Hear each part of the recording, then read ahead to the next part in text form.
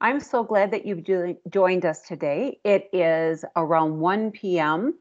Pacific Standard Time that this is taking place today, and we have got some incredible teachers that are joining us today, and uh, from all parts of the world, from Canada, from Africa, and different locations that you've shared in the back channel chat today.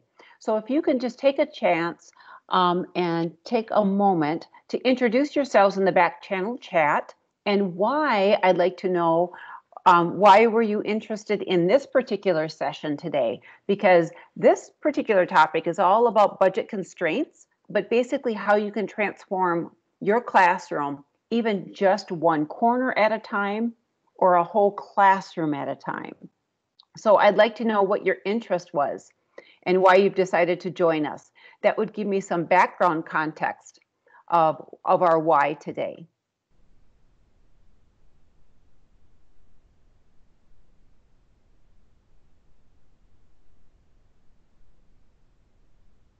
So I'll just take a moment to give you some pause time.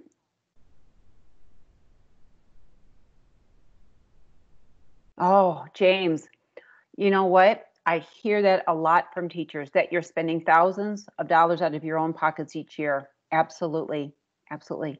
I also am supporting you today with a great collection of funding resources and opportunities to write some grants that you could actually team up with a teacher to write or present to your school board or your administration team to apply for. So I have those also I'll share with you.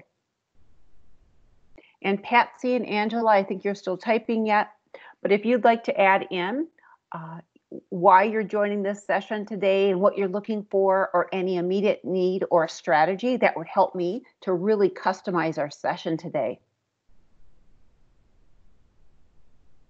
Yes, Nigeria. Yes, Patsy. Excellent. Glad you're so here. Uh, she's she's fascinated with class themes and board displays. Okay, you're in charge of the school. Okay, to design a beautiful spaces and themes without spending so much money. Well, then you've landed in the right space today. I am so glad that you're here with us, Patsy. I've got lots of design ideas for you. Kathy, welcome. I'm so glad that you're here as well we just offered an introduction question basically and gave a welcome, but also would like to know that you've joined us today on learning about transforming your classroom spaces on a budget. So we'd like to know what your interest is or your need is today, or your interest of why you've chosen this topic to join in today. And that way I can really customize our sessions for each of you. Okay, and prior to now the archived reflection, you'll see at the top of the conversation that I've added the master slide deck for you that you should be able to see. So it is there, plus a support resources on, it's called um, Bloom Your Room. I had a really great conversation with Dr. Lynn Kinney this morning, who lives about 15 minutes from me. And uh, she's got some great resources to actually add in to complement how you set up your classroom. So I thought I want to give you those bonus materials too. Well, let's get started. And I'm going to make this full screen so each of you can see this larger.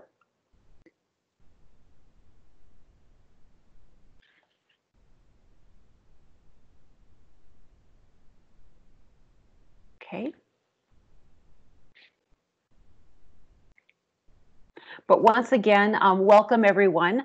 A lot of you have been in my sessions already, so you know who I am. Um, I'm a very proud educator. I'm a STEM innovation specialist, and I actually hold a lot of different ambassadorships as certifications because I'm very passionate about when we design spaces in the classroom that we also provide the educational learning experiences that are hands-on to build lifelong learning confidence with each and every one of our students with differing abilities. So I'm very passionate about building literacy, especially. Um, Book Creator is a great tool if you haven't tapped into to create your own stories. Teachers can use, but especially students. Um, I love everything to do with Lego. Anything hands on at any given time can really help the conversation and the collaboration between students in the classroom. But I especially love working with coding and making and circuitry um, components and helping students really create their own inventions. And that's what Makey Makey can do for you. So if you have not seen what a Makey Makey is, you basically can go to instructables.com slash Makey Makey. And we have a whole teacher's hub there that you can create amazing inventions, just amazing. And once again, and today's slide deck is here that if you'd like to tap into that, I have this shortened link here and I have the shortened link at the end of the presentation and it should be within our back channel chat as well. Now let's have the conversation first and then I'm gonna make sure that I pause, that we can process, and then you can apply information today because we'd like to make those learning connections. But a lot of times teachers ask me, well, when designing spaces, where do I even start? But the first thing I always have teachers do, I say, let's take a few steps back because where to start, we truly need to identify what is our purpose and what is our why. Is it because we only want to beautify the space because our teacher friend next to us is? Or you saw a really neat space in a school visit somewhere else? There always need to be defined a purpose and a why because it needs to be impacting student development, brain development, and also to allow students to be more successful in learning in those spaces. So the bigger picture is these are the conversations that I normally have with teachers when I'm with them face to face. We really try to find out their purpose and their why. A lot of times teachers will say, well, we have some academic areas that were in need of improvement. So because there's this need of improvement, we really needed to find a space that we can concentrate more heavily and with more engagement for our students to understand, apply, and show what they know. So I usually ask the teachers, you know, is it a focus on literacy that you want to create? Is it communication or collaboration? Is it something to do with problem solving or critical thinking? You know, is it need to be part of a STEM, science, technology, engineering, and math initiative? And I always focus what is the best for your students' needs. The other areas that I focus on too is sometimes teachers are having trouble with classroom management and also how to help students and model to students to stay time on task. So because of that, we really model some effective rotation stations, what the workflow can look like, how to transition, and then how to empower students to clean up that space and be responsible learners to ensure everything is put back in its place. The other thing that I really like with designing spaces is when you really put students in the center we really want to allow for them to have more choice and voice in their learning. We want to empower them to take student ownership and that they're driving part of that learning so they feel that there's a value add and there's a purpose why they're in this environment. And again, I said um, earlier, there's opportunities also for dedicated spaces that you transform to really enrich activities for each and every student that they can find their genuine interest or something that they're very passionate about. And that's what we need to really help our students with moving forward. Now, I had a, just a very brief conversation earlier with James that was online, and he's still in the back channel chat area. And James had also mentioned that going back, when they go back to school, that there's a, a very clear focus that social emotional learning will be a major component to really focus on a learner centered practice in their school.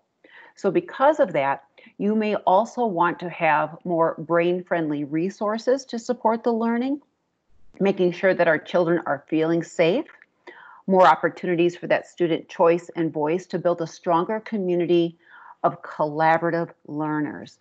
And because of the pandemic that we're in, there's been a lot of trauma that's taken place with our students. Some children are filled with anxiety because they haven't gotten an opportunity to physically connect with you as a teacher. They may be now in a home environment or where they're say, staying at that maybe may not be the safest for them. And being away from school was their safe haven. And now in their home environment, it's not the best environment for them.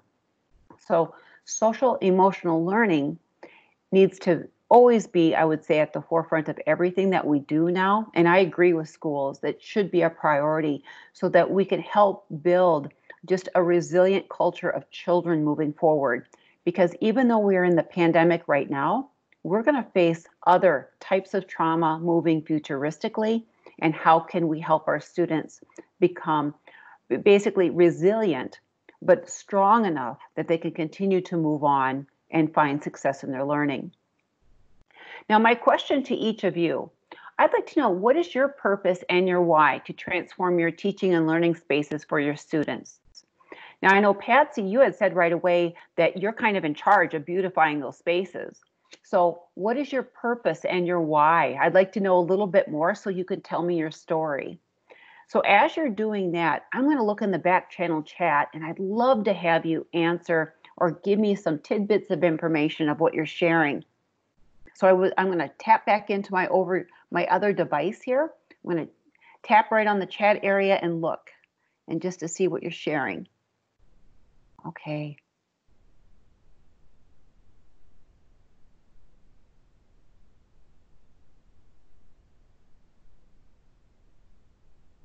Okay, excellent. So Kathy, she says, I would like to see some ideas to include social distancing in my small room layout. And I think that's going to be the, probably the biggest challenge more than anything, because when we look at best practices, we really want our students to be highly communicative and highly collaborative learners. And usually that means in close proximity. So we've got to come up with some very creative ways. I do have a few pictures that we'll discuss and share that are visuals that I think might give you some insight, Kathy, today. That would be great. Susan, welcome. And Rosa, I'm glad you've joined the conversation. So glad that you've joined us today, ladies and gentlemen. And please share with us at this time. I want to know what your purpose is. Even if it's like I call it a pie in the sky, you know, what's your why? Why do you want to transform a space? Even if it's one space, one corner, or part of your classroom, what would be your purpose and what would be your why?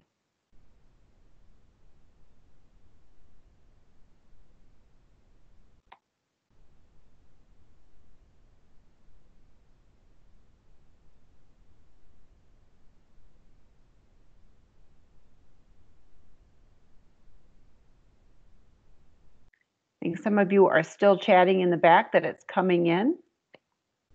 Okay.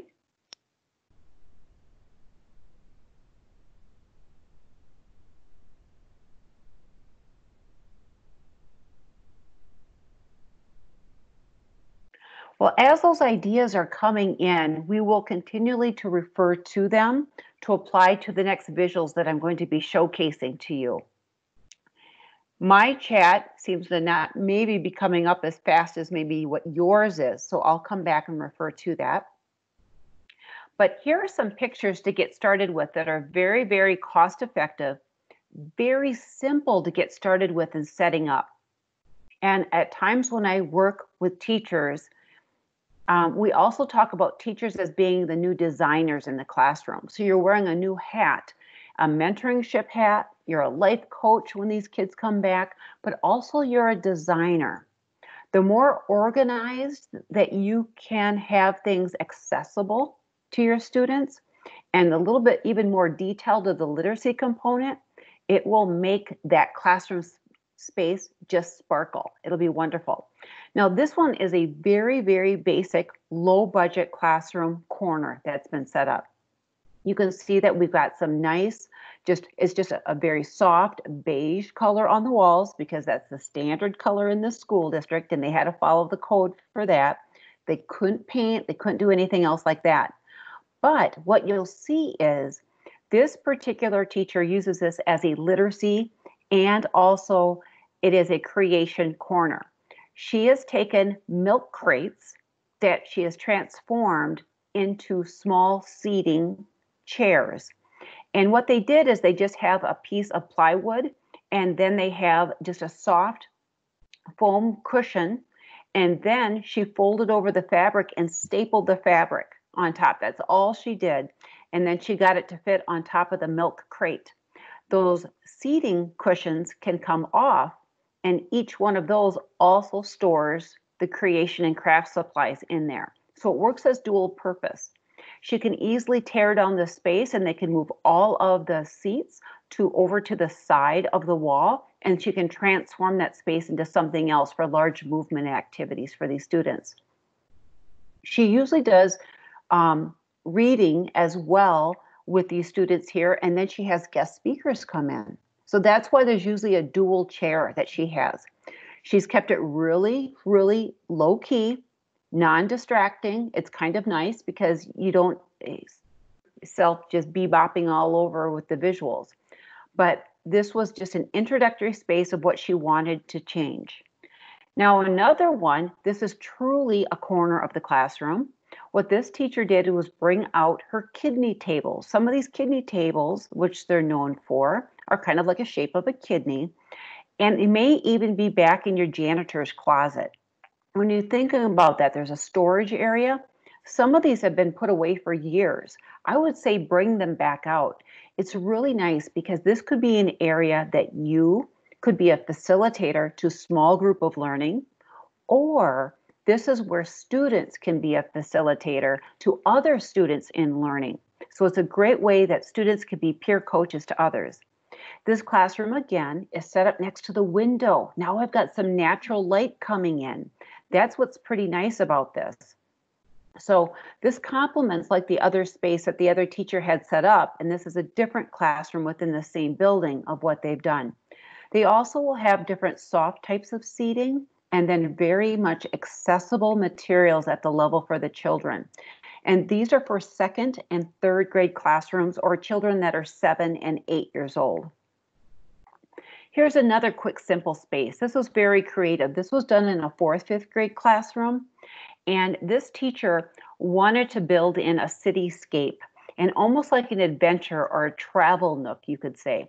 Um, this was set up in an area of a very rural and impoverished school district, and they were really out in the countryside. So, what she wanted to do was to build in the look and feel that they had a cityscape to experience this with their students. And you can see that she had large size handkerchiefs, is what these are. She filled them with pile filling and then she actually sewed them into like a pillow, but then she uses them um, for a seating cushion for the students. And then she just has the little suitcases just as a visual aid. But I think she does have some pencils and pens and paper as storage in there too. So just a very small nook, very small area. She usually has three or four students at a time in this space. Now, here's some other things to think about milk crates work really well that you can transform them into instant seating areas.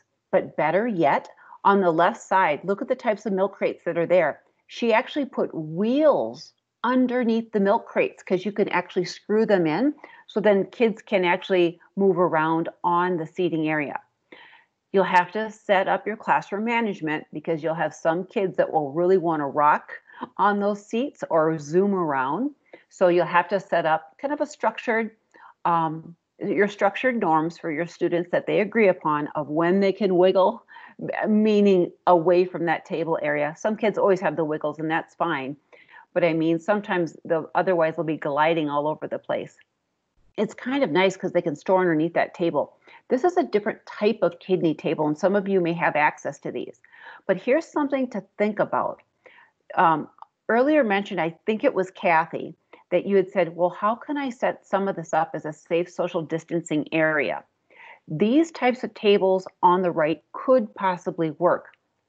That if you have one student in one space on one side and one on the other, that you could be six feet or more apart. It just depends how far apart or how wide that table is.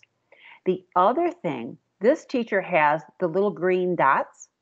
Those are basically, they're called dry idea paint dots. Those dots can be painted in a circle or you can actually put them down as a dry erase sticker. So kids can draw, create, and mark up as they are solving a problem. Or if you're working on a literacy component with them, if they're working on word wall or choice words or fluency, they can actually have some writing space. But the dots can work well of helping students know how they should be spaced out. In an ideal setting, without the pandemic being a problem, you could easily get in your elementary classroom up to six children. But now maybe it's only two, you know, if that. So thinking differently, but giving some organization and detail of knowing where kids can sit, but spacing themselves so they're just cognizant of the other individual. Other things, again, these are some more milk crates that have been transformed into seating cushion areas as just a very, very small nook because that teacher didn't have very much in a room. The other one on the very bottom, you'll see uh, this gentleman teacher used the same thing, but really color coordinated. Um, his room, almost like a soccer theme, is what he was going for. He wanted the black, the white, and the red. And so you'll see little splashes of those throughout that's consistent, but it's not distracting. And then he, as the educator, meets with his learning groups to support the literacy component in doing small group work. And then as other part of his classroom, the kids are actually in different types of invention centers when they're designing and creating. Here's another one. This is more for a high school. And this is a room that has been just um, transposed that they actually created a focal wall. So the focal wall over where the windows are is an aqua teal color. Aqua teal is a very calming, calming color. And what that does, it helps bring quietude and centralization and calming to children. So they have central wall in that. You can also see out because there isn't natural light in this room, but they could see out into the library space. This is a study space where a teacher can still come in, where students have, can work at the computers. So again, if we adequately space this out, you could have a few children if they were spaced appropriately over on the longer tables with the computers. You could actually have each of the students sit in a couch area, or if they each had their individual bean bag and spaced appropriately, that would also help. And then the teacher here that is just kind of monitoring the situation of what he's doing, he's uh, looking at the conversations of how the kids are creating and making online right now. Here's a few other things too. I really like this space because this is in one corner of a classroom, which again is bringing in that natural light, getting in some natural vitamin D. The teacher brought in repurposed or recycled outdoor furniture cushions. So that's what that is. They're very, very durable. Underneath where there's where they're on top of, I should say, the underneath planks. Those are created and made out of recycled uh, pallets that were then sanded down and painted. And these were done in the technology education shop with the children at the high school. So that was very interesting. So this was a whole school project. And they used repurposed materials because they were very, very cognizant of dollars, what they had, but they wanted to involve the high school kids to help these um, these were upper elementary students as fourth and fifth grade.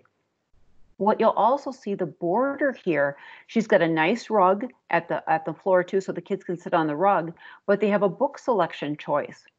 Now, in that book selection choice, what she has is she's got little tongue depressors in a circle uh, jar there, where she has a little bin, um, and they can pick and choose which number it is, or what she has, she has QR codes that are not quite seen in this picture, but I wanted to add it here because they're off to the side where they're sitting. And the kids can actually scan that QR code to take them to that book. And then essential questions are posed where kids can create their new ending to the story, or there's questions related to the character, the plot, or the setting, or it'll be an activity for kids to create and design. So there's lots of choices here. So it's a little bit different, but it helps kids be more self-directed. And then they document also which book they chose and the why, and they complete that activity. Here's one more I'd like to share with you. You probably have seen this. This has been all over the internet. I thought this was very creative, and this was in a library media space. So again, spacing out items of activities and helping students safely socially distance could possibly work if you have dedicated spaces in your library media center. You'll see on the far back wall on the right, you've got that epic Lego building wall. So now the kids are building right now on that vertical axis instead of a horizontal axis, and that's a whole different perspective. You have another child in the back that's actually working with some pin dropping and mapping and some scaling. We have another child sitting right in the center that he's designing and building and creating.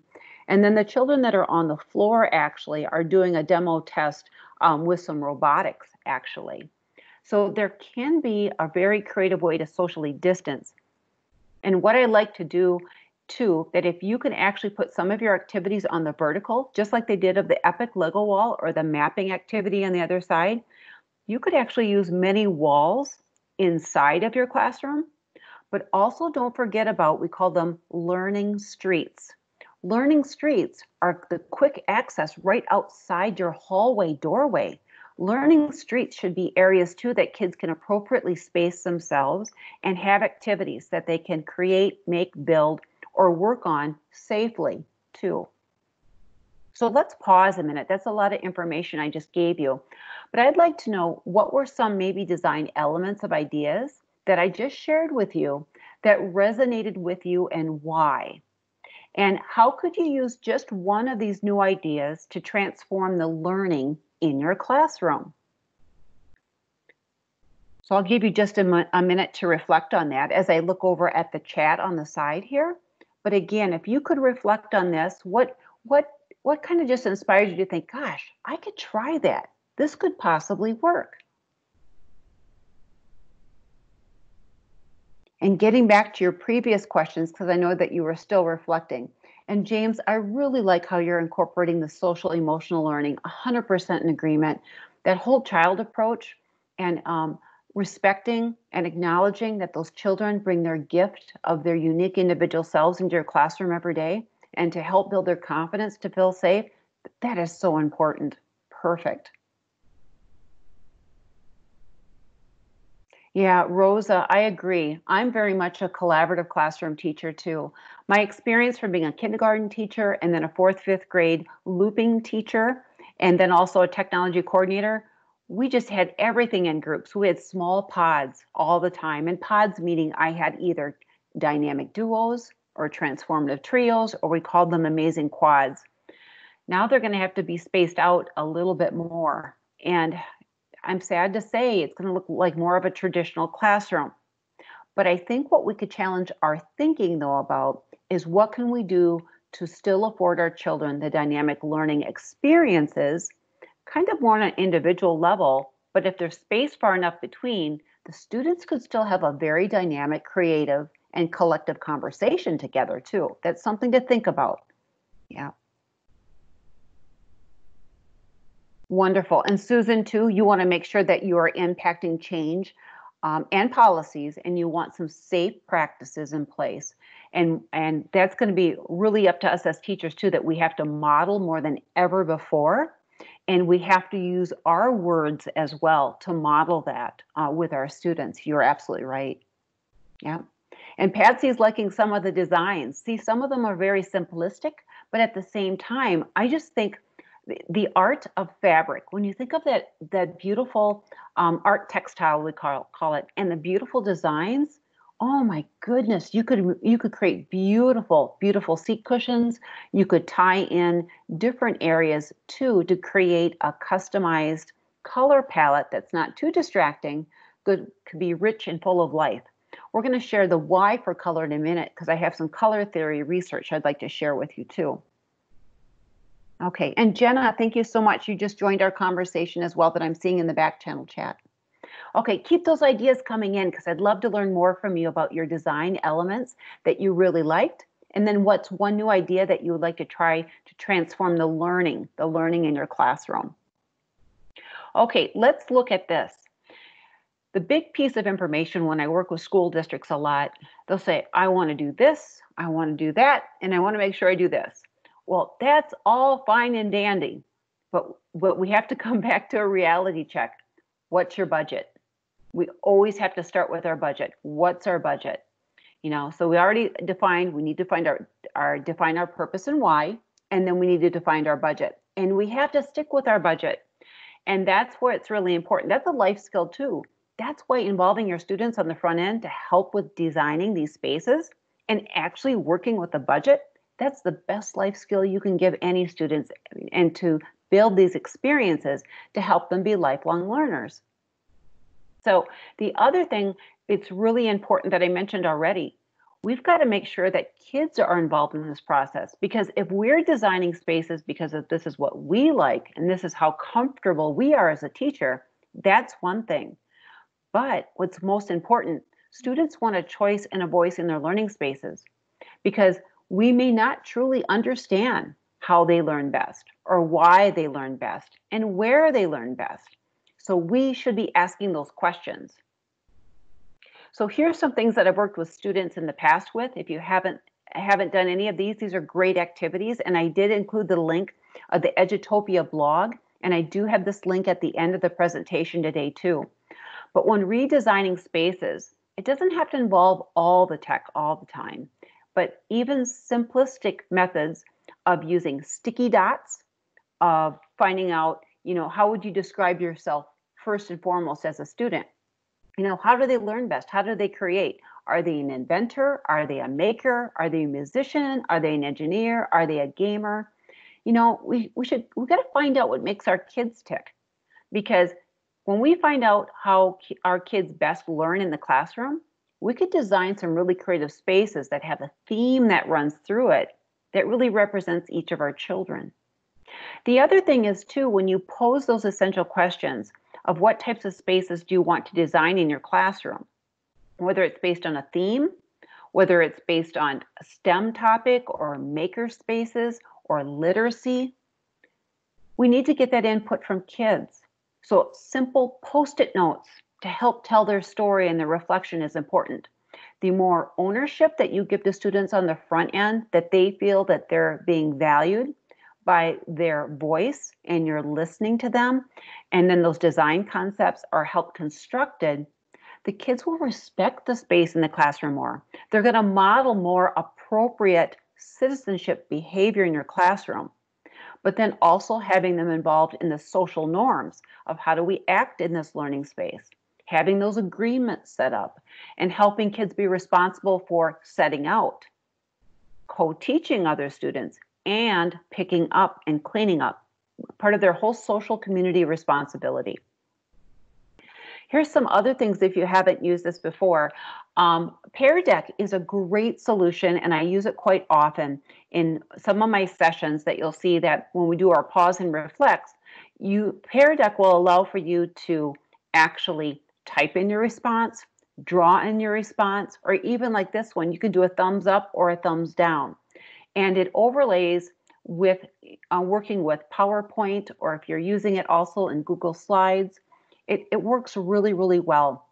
But the more voice that we can give to our students, the more active participation, the more ownership, they're going to respect you as a teacher more in your classroom and they're going to feel empowered to keep even their classmates basically in check, as we call it. Because if somebody's acting out or doing something they shouldn't be, students appreciate that space and they don't want somebody to ruin it. So once again, post-its, visual dots are great. Microsoft Forms, what a beautiful way to do a quick survey with your students and to have a team of students that you design and create the forms together. So making sure you're asking the right questions. And then from there, distribute that form out to get feedback from your students. Here's one more tool if you haven't seen before. Uh, there's a portion on here that's free, and then there's a portion on here that's paid, but it's called Thrively. I really like it because it really focuses on the whole child and it really identifies a child's unique strengths, their interest, what they're passionate about, um, which particular skill sets that they want to focus on, and what they're interested in futuristically too you know what kind of careers what kind of passions or what type of making activities are they involved in and what they like? Like even outside the school day so we can better get to know our students. So again this is called thrively. This is a, a really great tool to help you personalize the learning and also personalize the learning within your new spaces that you're creating. So now i have another question for you. I'd like to know um, also about a new strategy that you could now use to involve your students to be an act to have an active voice basically and choice in their creation and design of the new learning spaces i want to know how would you involve your students? Would you introduce them as a conversation? Would it be that you would use a post it note strategy? What would you do differently? And what type of strategy would, your, would you use to involve your students in designing these new spaces? So I'm going to give you a pause and reflect moment. And if you could share your um, collective intelligence to see how you would do this. Or lastly, maybe you've already tried an idea that's really worked and we haven't discussed it yet. So if you could add it to the back channel chat, that would be great.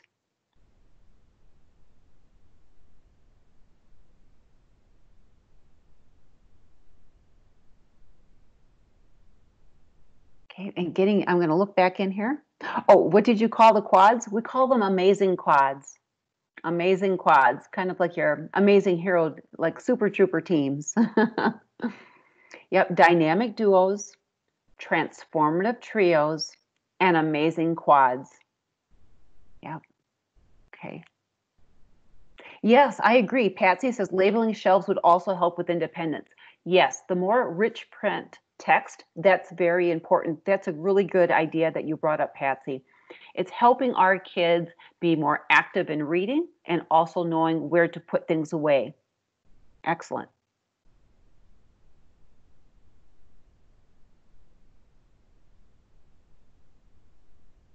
Also, James is saying that you have a kidney table um, and you see teachers, you normally sit at them. Yes, that's what I've seen. But when you can take that empowerment, I should say, when, when you can take that strategy of what you know works best, but then empower your students to now be a peer coach to others, that's when the learning really takes place. That's what's wonderful. Yes. So continue to add in your thoughts about strategies at this time about how you would involve your students. It would be great to see any other ideas that you've come up with or a different solution um, that we didn't discuss. Okay. Here are some more ideas for you too, and I cannot reiterate enough, but we really truly have to listen to our students, but we have to listen to you as teachers too. So when you're going to be transforming your classroom space, whether it's just one corner whether it's outside your classroom as a learning street or whether it's an entire classroom, you should also not have to feel like you got to do this alone. I would team up with another teacher friend. I always say two brains is better than one. So why not collaborate as a dynamic duo or have three of you as a transformative trio and come up with a design concept that you could actually design and create in one classroom with your students and pilot that first for a month. See how it goes. And if it goes really well, replicate it in each of those classrooms and then have the students help set it up too, which would be wonderful. Or maybe you learn from that space, it's like, oh, that didn't go so well. We need to do something else. So, because of that, then you're not wasting time and effort with putting it in three classrooms at one time. But sometimes a simple pilot of even two weeks or up to four weeks can really help strengthen the best approach of how you would deploy this then in other spaces. Now, when you look at these spaces, we have a lot of teachers that I've worked with, especially in the Midwest states, when we say that, like Minnesota, Iowa, and Wisconsin, that for a while they had no budget dollars at all to do anything with new learning spaces. But they did get approval from their administrative team that they could bring in even gently used couches or chairs that met a certain grade because in the United States it's called OSHA compliance. And this OSHA compliance needs to have a type of like a fire grade material. And sometimes really high end couches already have that built into them. And even if they're gently used, they will still meet that requirement.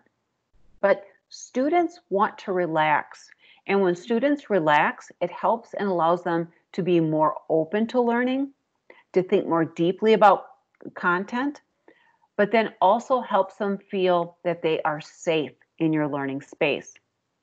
Now, the space over to the right, which is the large picture, I mean, that clearly is within your library learning spaces.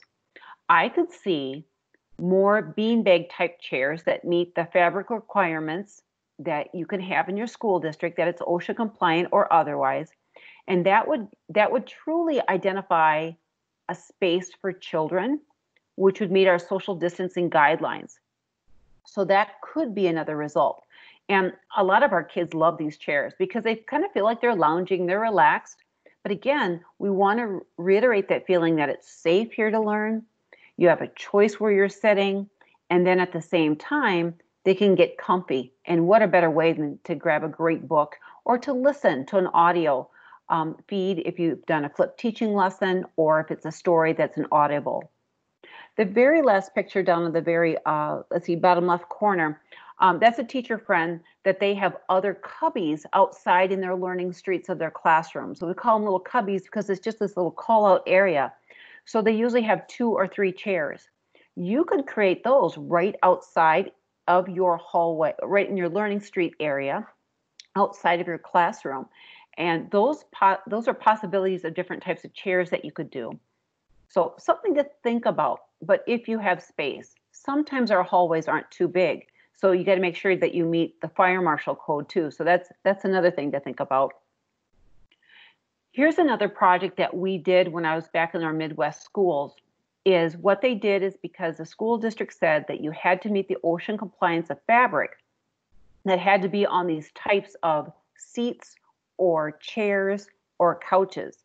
So what they did is they worked with the FACE group, which is basically the Fine Arts and Career um, Education group, which is at the high school, or we used some of our tech ed classes. But even better yet, we actually had some experts from the community that came in that did um, local upholstering that would redo chairs in general to come in and teach the high school kids how to do this. And they're kind of their tech ed shops and maker spots. And then the high school kids would partner with the elementary and middle school and they would mentor them to repurpose furniture to be basically be more green and sustainable of reusing items instead of filling up our landfills. So this was a really unique project because the kids not only got to help design that classroom space, they also did the whole color palette and collection of what that space is going to look like. So they did a draft and a design. And then from there, then they added the fabric to the existing structures or the bones of the chairs and the couches that they could repurpose. It was very, very cost effective.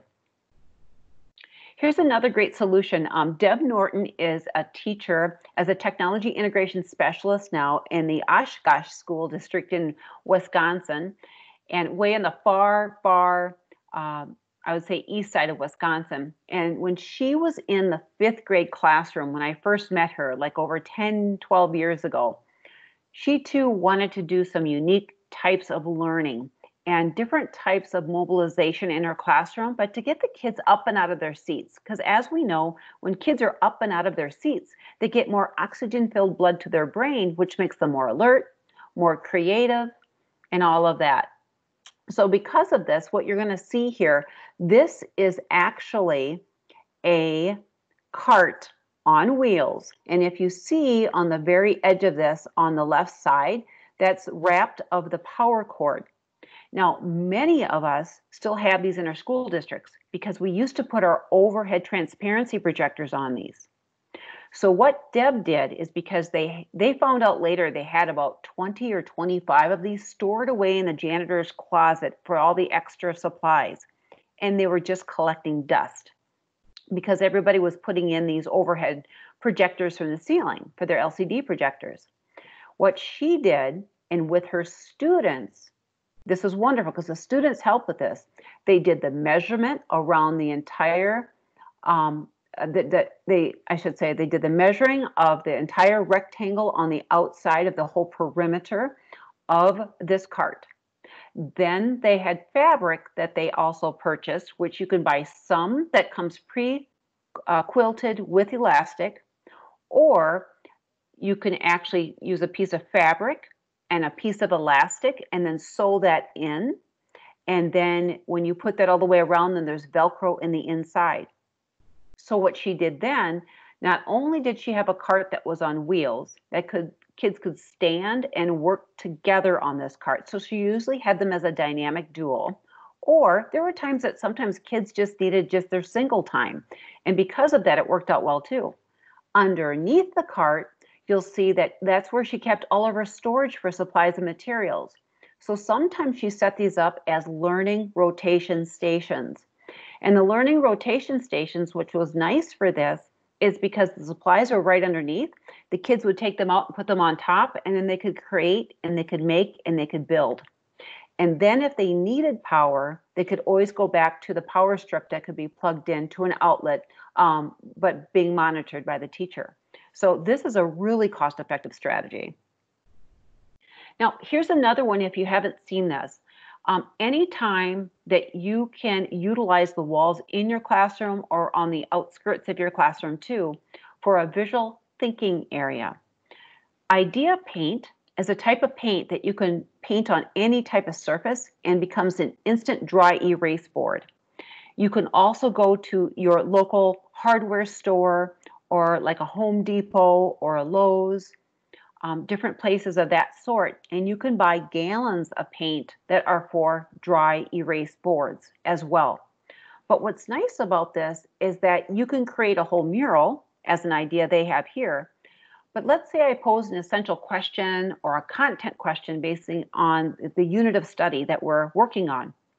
Kids can then sketch note and connect larger mind maps together of what they're thinking and ideas that they brainstorm. You could still safe socially distance with this activity. Just think if you could have one whole wall in your room that would have this on, and then you could space the children out, and then they can actually draw, create, and make at a given time. So that's something to think about too. Here's another way that we've used this. Um, to reiterate uh, math literacy in your classroom, an explanation of a problem when students work in teams of two or three, or even separately as a single, you can take the same idea paint and it works on the tabletops of your desks. So once again, please always ask your administrator that if you can resurface your desks and use this type of paint and it works as a dry erase, it is guaranteed to stay on for seven years so it lasts for quite a while. The only thing I would say again, please always ask that this is okay to do. We've even had some teachers say, Could I bring in an older table that you've refurbished and you've made sure that the, the top is very smooth? And we've had some teachers actually put that idea paint or the dry erase paint on top and used it as a center as well. So that's another thing to think about if you'd like to use it that way.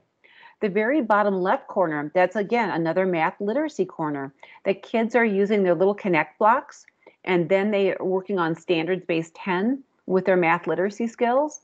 And then they're actually documenting how many they have and then they write on the table and then they actually take a snapshot of it and it's saved right to their seesaw account is what they're doing so they're working on that math literacy so in this one corner, this is taking place. On another corner, they're actually reflecting on the whole process of understanding at our high schools and middle school kids. And then you can also incorporate literacy on the other end of the table. So everything ties in so nicely. We have a lot of teachers that use this over existing chalkboards. And yes, we have a lot of chalkboards left in the United States and internationally. But what a better way to make it a dry erase space and then kids can use that as a think tank area. Teachers can use it as a dry erase board, or you can help with kids with brainstorming and sketch noting. And again, the whiteboard dry erase paint that you can get at your local hardware store, they, they range in the US dollars around 30 to $50, and it can actually paint a whole wall. The idea paint is much more costly and those range because it's a bigger container but you can do multiple walls or it depends what type that you want because you can get different colors and different uh, grades of the material of the paint that you can use. Now, here's another space.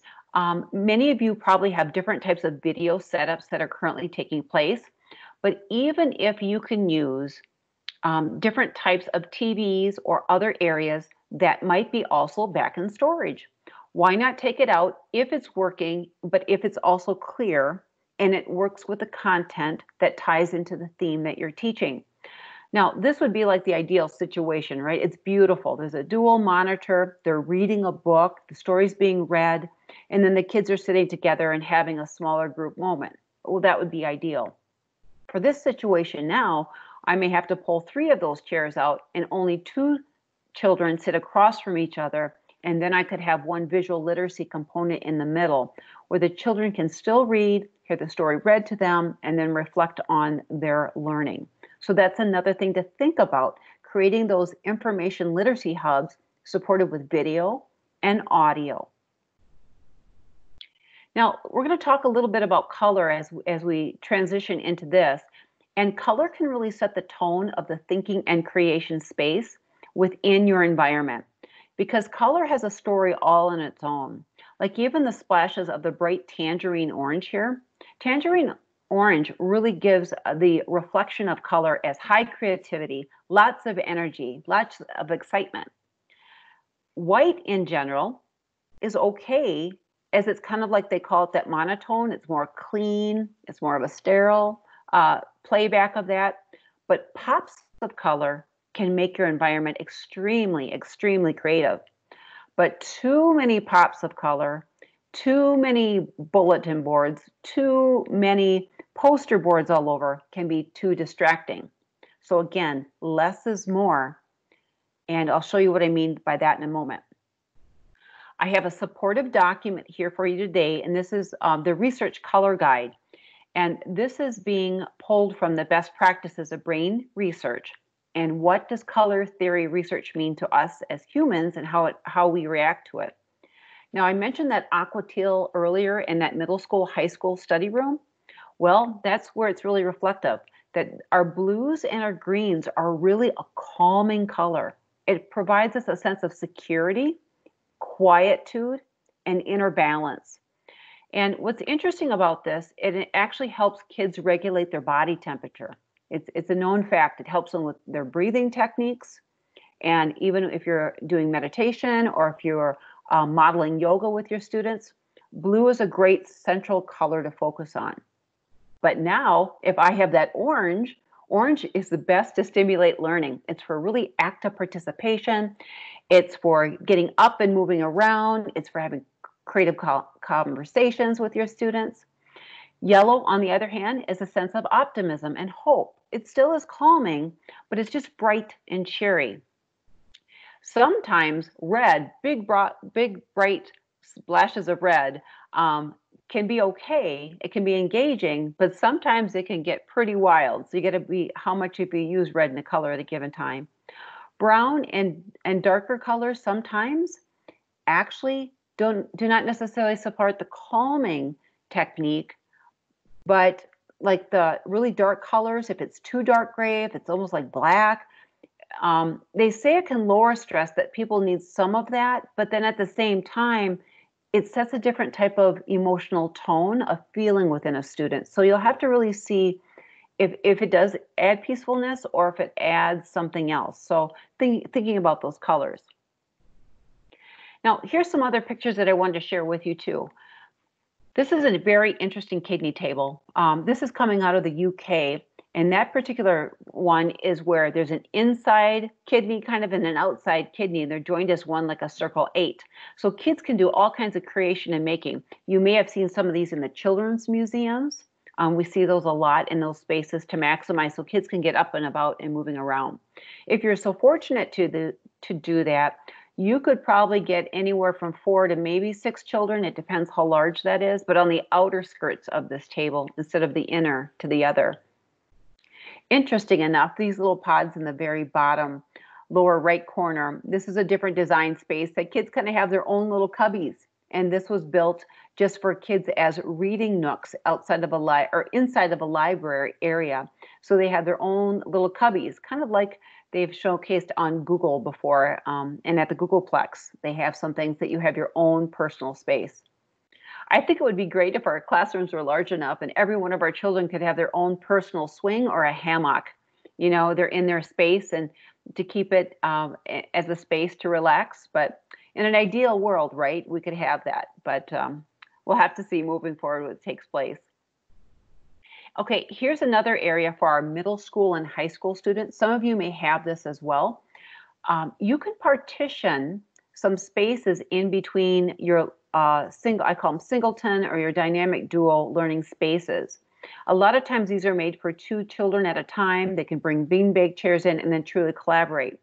More schools are putting up these little borders in between as natural spaces so kids can actually be separated and socially distance um, effectively together. We are seeing some of that already taking place right now, but kids can still kind of see each other, but then there's a small border. So that's another um, possibility that you may want to look into. Now, many of you probably have seen the different Steelcase chairs and a lot of these different uh, types of chairs that move, that have wheels on. They can be quite costly, but it's really kind of nice too because you can set up your classroom in many different dynamic ways. Because again, it, it's natural, you can set them up in dynamic duos, transformative trios, or those amazing quads, but then you can break them apart to socially distance as well. They do take up space, you know, they're a little bit larger than a desk, but they have the the I should say the, the little desk template that comes up and then can also um, fold down to the side and then underneath they can put their studies, uh, notebooks, backpacks, and stuff like that. Here's another one because um, this is coming from Atlanta, Georgia area. This room is like a double room. It's very, very long and very, very deep. But what's interesting, the color palette that they've chosen here, we've got great dynamics of blue. So the blue is the calming, the resting, but also feels helping kids feel safe. We see we've got some partner shares over here that they're working on literacy, they're reading, but it has natural light. We have our children right up in the front on the left side. They're creating and making. So you'll see that they've got some red chairs here, and that's for high creativity and energy, energizing. And the teacher usually will say, um, group one will be going to the blue zone. Group two will be going to the red zone. And then group three will be going to the green zone, which is beyond that. And that's another calming area where they have a listening center and a video creation center actually set up. And the children way in the back at the other red zone there, they're doing small group collaborative maker work, is what they're doing. Now, the other thing I wanted to add as part of our closing is even the most essential element of a water fountain adds pure calmness to your classroom. And why I say that is because it's the sound, it's the emotional tone that it leaves the students with, and even you as a teacher. But even when the students see it, water, water is really talking about hydration, right? We need, we, our brains are made 80% up out of water. So because of that, we need to stay hydrated. But at the same time, too, water gives us this calming and soothing tone um, that it's when it's in a fountain a lot of teachers that I work with have this in their classroom and they especially turn it on during independent reading time or it can also come in and be turned on during this time for transitions. So if you're completing an activity and assignment and you're leading into something else, the teacher may turn the fountain back on and all of a sudden the kids hear the ripple. They know it's time to close out of this activity and then we're going to make a segue into our next activity. And the teacher doesn't even have to say what she's doing because the tone and the sound are the cue for the classroom management in the class in the classroom. If you haven't tapped into already, the Calm app is just absolutely brilliant. You can go to calm.com or use Calm on your phone. And what's beautiful about this, it gives a beautiful visual playback of landscapes from all over the world and has some quite soothing music that you can set it up for meditation breaks, yoga breaks, or just some easy listening in between the types of maybe complex work or stressful work that you have to ha- you have to be working on with your students. You can set it up for 2 minutes, 5, 10, 15, 20 and so on. But it's a great teaching tool that really connects with a lot of our students. So I wanted to make sure that you got all of these resources. Remember, I said everything is here. So what we have, not only do I have additional funding resources, there's lots of grants that are out there. Sometimes it only takes one page to fill out and that you can apply for a 500 or a $5,000 grant. Others, such as like Donors Choose, you create a project online and then you choose what you'd like to fulfill your classroom with supplies or materials and then you market basically that out. And a lot of individuals from major corporations like to come in and help fund those donor choose projects. Always what we're seeing major funding happening is around uh, the end of the school year because that's Teacher Awareness Week within the United States. We're also seeing it when you go back to school in August because a lot of corporations know that schools do not have budgets. So, a good time to also apply would be creating one of those projects now and then having it done by August and market that out, and most likely you'll get funded. Um, starting small is better. Usually, the first time, $1,000 of US dollars or less, you most likely get funded. And the more times that you get funded, the more then you can apply for a larger amount coming forth um, into the next years. I've got some teaching tolerance education grants that are out there. Inspiration for instruction classroom grants are there. I also have all kinds of bonus things. So besides, this is just the physical things that you could do for constrained, um, I'm sorry, budget constrained classrooms that you're trying to redesign. I do a lot with brain friendly learning spaces. So if you want to take it to the next level, I've included my entire slide deck as well there that gives you all kinds of best practices and research to really focus on social emotional learning and brain friendly classrooms. I also included it's called Get Active reimagining, sorry, reimagining learning spaces for student success. That was designed and created by K through 12 Blueprint and Clarity Innovations from the United States. It's all on the best practices of why you design your space and targeted especially on student success. I've got some other great links that are in there for you too. And then I also have one that if you are looking to create maker spaces or STEM learning hubs, I have one in there just on maker spaces that I've delivered too. So I want to give you all of those best practices. So once again, teacher friends, thank you so much for joining us today. You can always email me. You can direct message me on Twitter or follow me on Twitter. You can go to my website. I have all kinds of other re resources there. If you're looking for more resources, Twitter hashtags for this event between Microsoft and CUE is remember it's called Geta or Microsoft EDU or it's called We Are CUE. And you're going to see all of the great learning taking place from all of the presenters.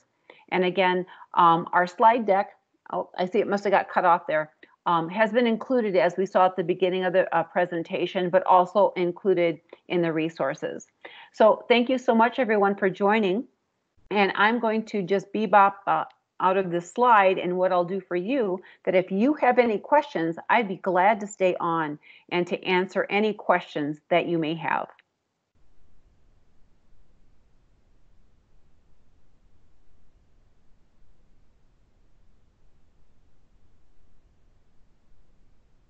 You're more than welcome to turn on your mics if you have more questions. Um, not a problem at all. And I can stay on a little bit longer if you would like. Oh, Jenna, you need the link yet. Okay. Um, it should be at the very top of the chat. If you're not seeing it, let me add it again. That's not a problem. I also added one on social emotional learning from Dr. Lynne Kenney. I'm going to try to go back to the top of the chat. Okay, here it is.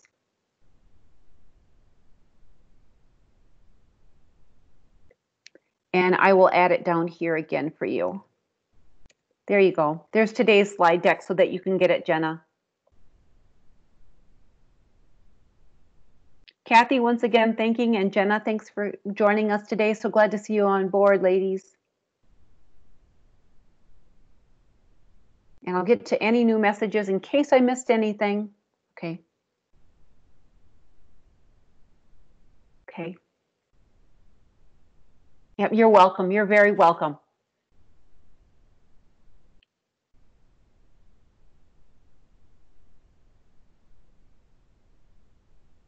Okay. Well, I will let you go if there's no other questions, but have a wonderful day, everyone. And we look forward to you joining in for our future CUE and Microsoft sessions. Each and every day, we've got so many creative topics to share with you, and it's going to continue all summer long. So thanks for joining again.